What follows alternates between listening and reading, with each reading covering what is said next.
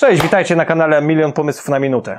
Dzisiaj na naszym stole akumulatorowa myjka ciśnieniowa marki Yato model YT 85930. Zapraszamy! Pięknie. Bardzo ładnie 3 z 2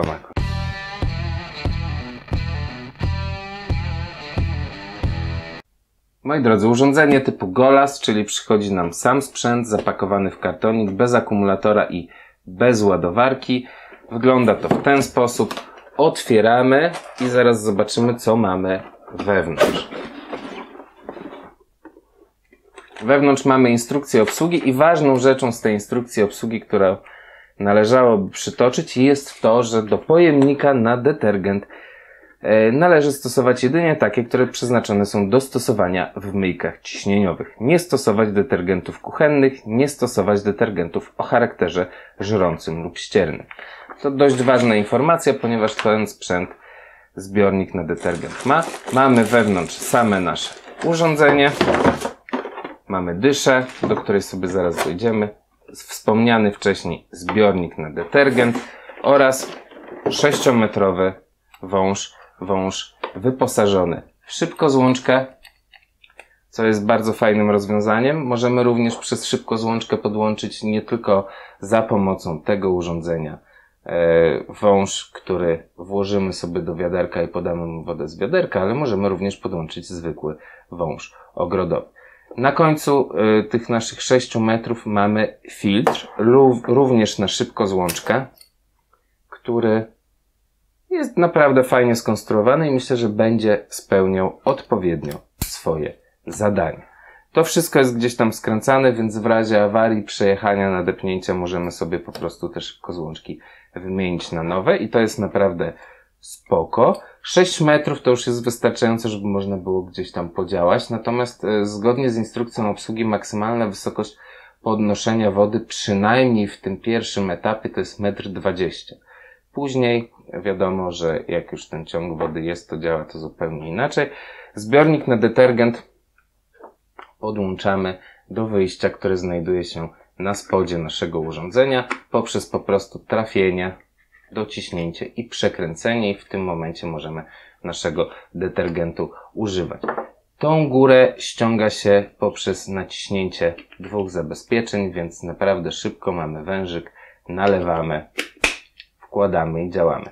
Pojemność nie jest jakaś bardzo mocno przerażająca, ale już myślę, że wystarczająca, żeby cokolwiek gdzieś tam umyć. Jeżeli chodzi o nasze e, samo urządzenie, o samo nasze narzędzie, to przychodzimy zapakowane, jak widzicie, w folijkę.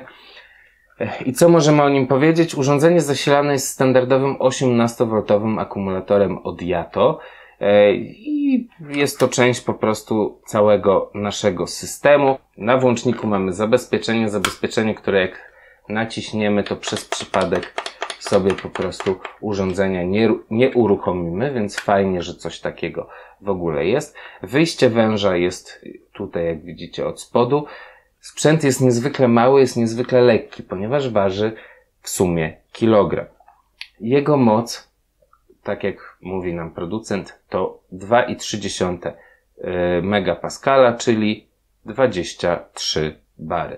Czy tak jest w rzeczywistości? Ciężko to sprawdzić, tak naprawdę, bo trzeba by mieć było specjalistyczną aparaturę pomiarową, ale sprzęt naprawdę daje radę.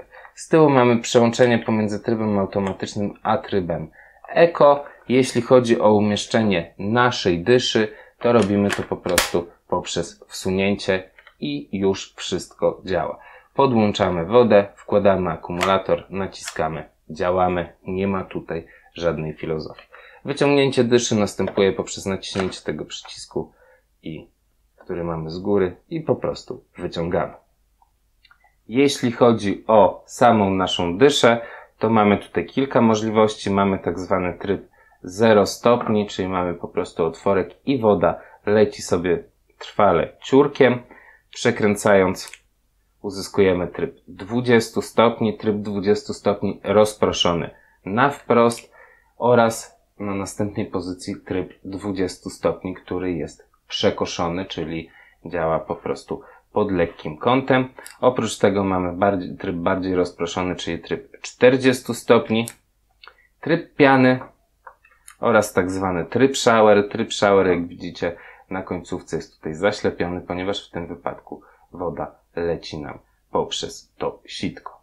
Urządzenie mamy złożone, przygotowane do pracy. Wystarczy tylko podłączyć wodę i załadować akumulator. W naszym wypadku będzie to 3 Ah w pełni naładowane. Takiego akumulatora, mhm, fajnie, że Wam pokazałem, że jest w pełni naładowane, ok.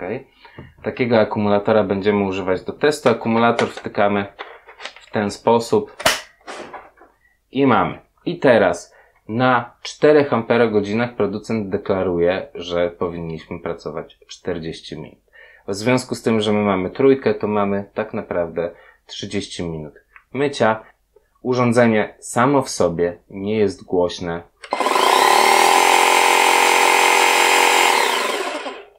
Da się spokojnie przy tym pracować, tragedii nie ma. Tyle, jeśli chodzi, moi drodzy, o takie parametry techniczne, o budowę i skład całego urządzenia. A teraz zmienimy troszeczkę lokalizację i przejdziemy do testu. No chyba Emil, że chcesz zostać umyty. Dobra, sprawdzamy pierwsze użycie myjką ciśnieniową. 20 stopni.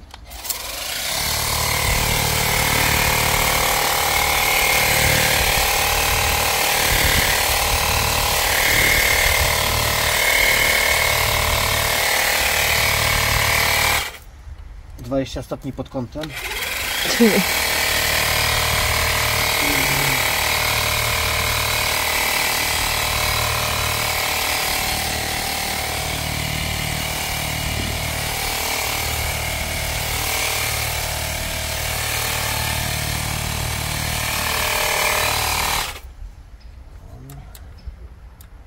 Shower.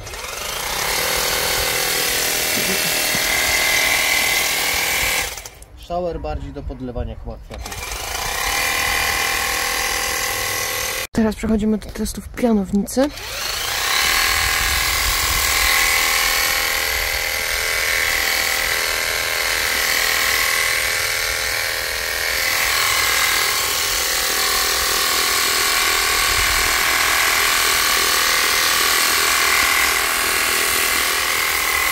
Teraz nasadka 40 stopni.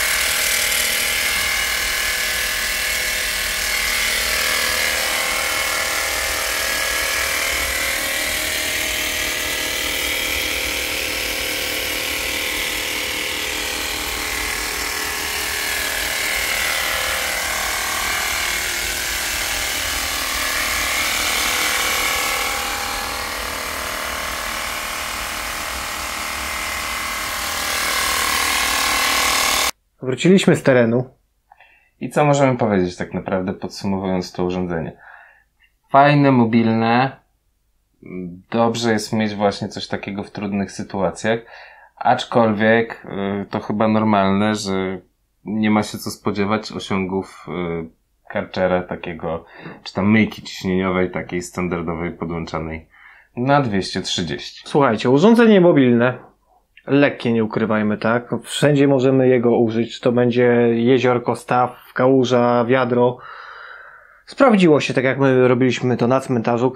Z bliska można powiedzieć ciśnienie zrywało największy brud.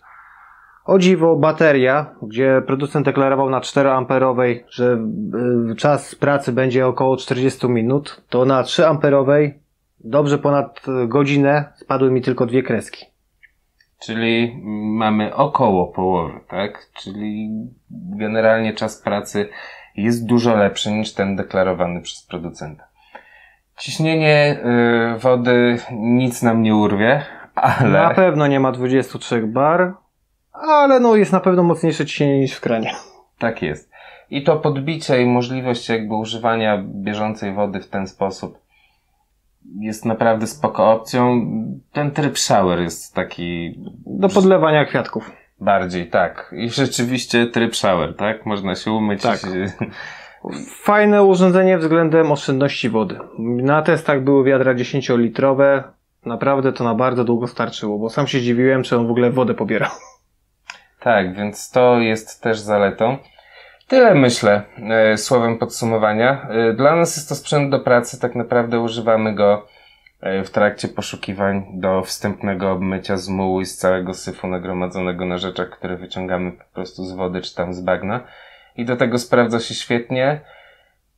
Tych, którzy spodziewają się osiągów mm, urządzenia przewodowego, no to mogą być zawiedzeni, natomiast trzeba liczyć, jak zawsze, siły na zamiary i na możliwości. Łatwiej myć, e, umyć karszerem przykładowo cmentarz, niż latać za chwilę po wiadro ze szczotą, e, proszkiem jakąś inną chemią.